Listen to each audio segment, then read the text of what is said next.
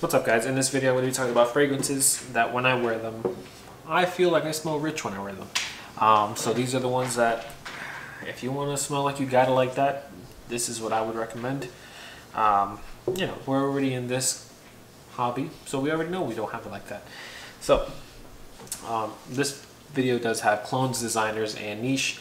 So I'm going to go ahead and start off with the clones. So the first one's going to be Tuxedo by Maison, a tuxedo clone by Maison Alhambra, which is Kismet for Men. I don't know if that's focusing or not, I can't see. But I think it's a really good clone of the DNA. Um, probably one of the most affordable ones, and for how it smells.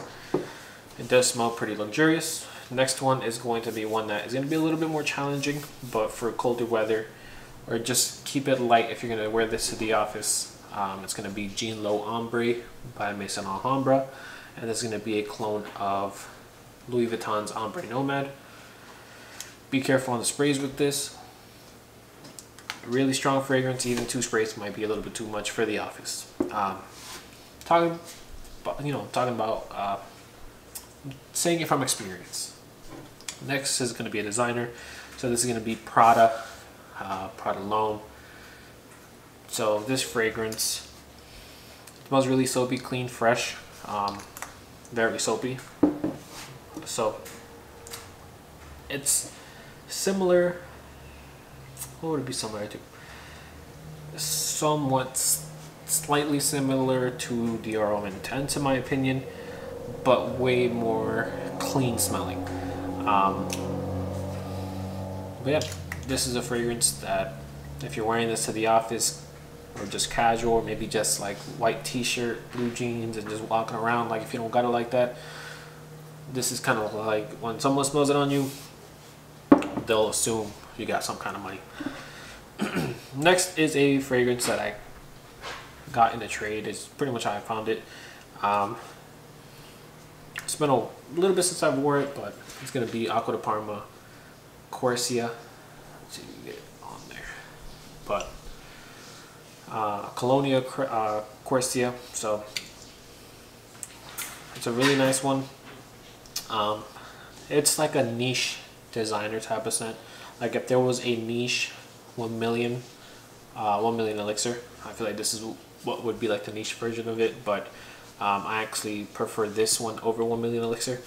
Um, really nice fragrance, very long lasting, very elegant, um, kind of hard to dislike, but you will smell different and you will smell like money. Next one is the fragrance I only wear if I'm more dressed up. I used to wear this one more to work while I was dressed up at work. Don't really wear it too much anymore um, just because I haven't really dressed up that much for work anymore. Just don't have to anymore. It's going to be Creed Viking. So I do have Old Spice cologne.